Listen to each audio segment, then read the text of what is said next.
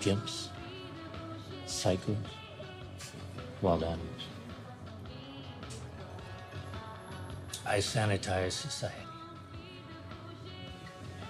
I am a wolf.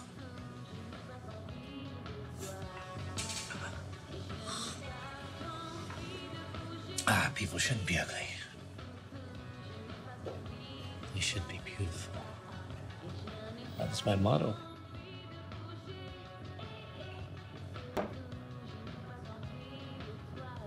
How do you fit into your motto? Having a belly like that. You're a bit of a porker. What did you say? Because I am the upper crust.